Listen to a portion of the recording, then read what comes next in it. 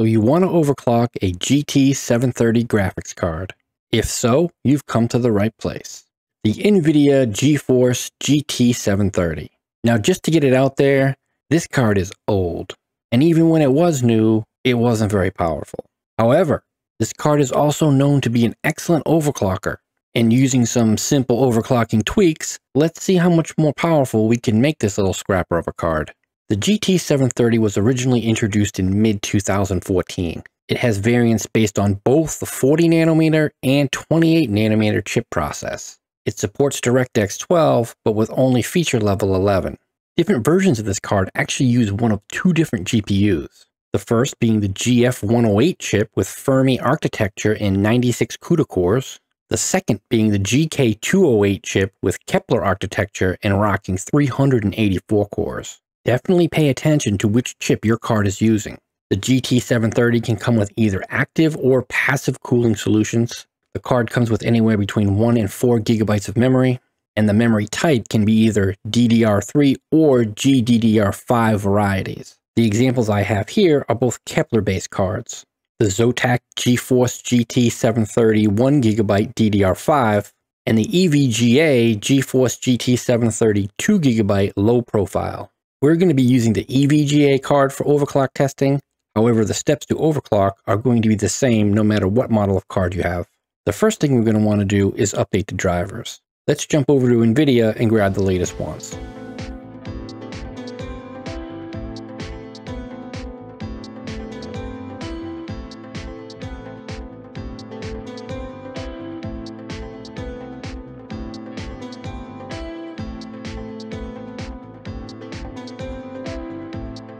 Now that our drivers are freshly updated, the next step is to install an overclocking program called MSI Afterburner. MSI Afterburner is a completely free tool that gives you a high level of control and monitoring over your graphics card.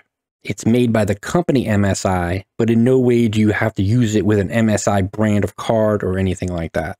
MSI Afterburner works with both AMD and NVIDIA graphics cards. There is no registration or membership required, so highly recommended. Now that MSI Afterburner is installed, we'll be focusing on the core clock and memory clock settings. We can see that the fan speed is currently set at auto. You can turn this off and manually select a fan speed that you like. However, for this video, we're going to leave it on auto. For voltage, you can see that the setting is grayed out. By default, this setting is disabled by MSI Afterburner. However, this card does not officially support changing the voltage anyways, so turning it on won't do anything. Just to note, it is actually possible to change the voltage on this card using some other methods, but we're not going to be covering that in this video. Now, once you've made changes to the core clock and memory clock, you can reset them back to the default by clicking on the reverse arrow at the bottom.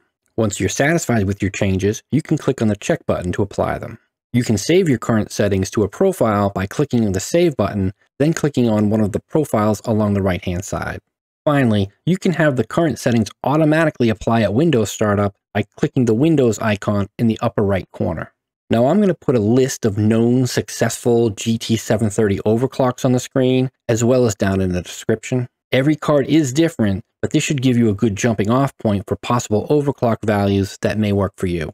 Now that we've locked in our overclock settings, we're going to want to test them. We're going to run through three different benchmark programs to test our overclock. 3D Mark Demo, Resident Evil 6 Benchmark Tool, and Shadow of the Tomb Raider Trial. All these programs are free and they're all available on Steam. What I'll do is run through all three benchmarks with stock settings, then select a moderate initial increase in both core clock and memory clock settings. I'll then run the 3D Mark demo just to be sure it can make it through the test without crashing. Running 3D Mark demo will also generate some performance ratings to see how much things may have improved from the overclocks. I'll then increase the overclock value slightly and run the test again. Once the settings have been pushed too far and I start seeing graphical glitches or crashing or things just don't seem to be working properly, I'll reverse the settings back to what they were just previously when everything was still working solid. At that point, I now have a good idea of where the sweet spot is for overclocking my particular card. I can either stick with those settings or try tweaking things just a little bit further.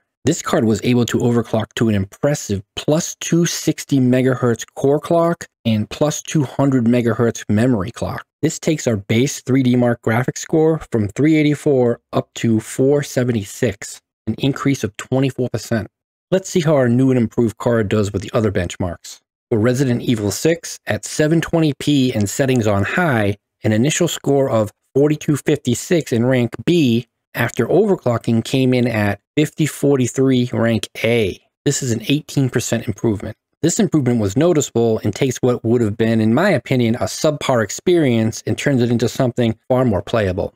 For Shadow of the Tomb Raider at 720p and graphical settings on the low preset, an initial score of 2460 frames and an average FPS of 14 was replaced by an overclock score of 2791 frames and an average FPS of 18.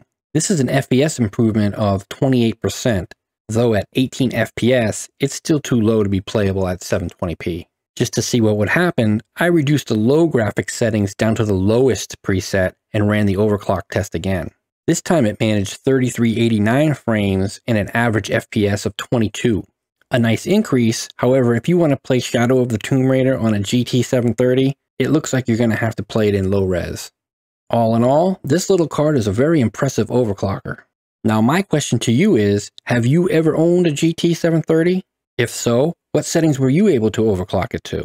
Please feel free to leave a comment, and thank you so much for watching.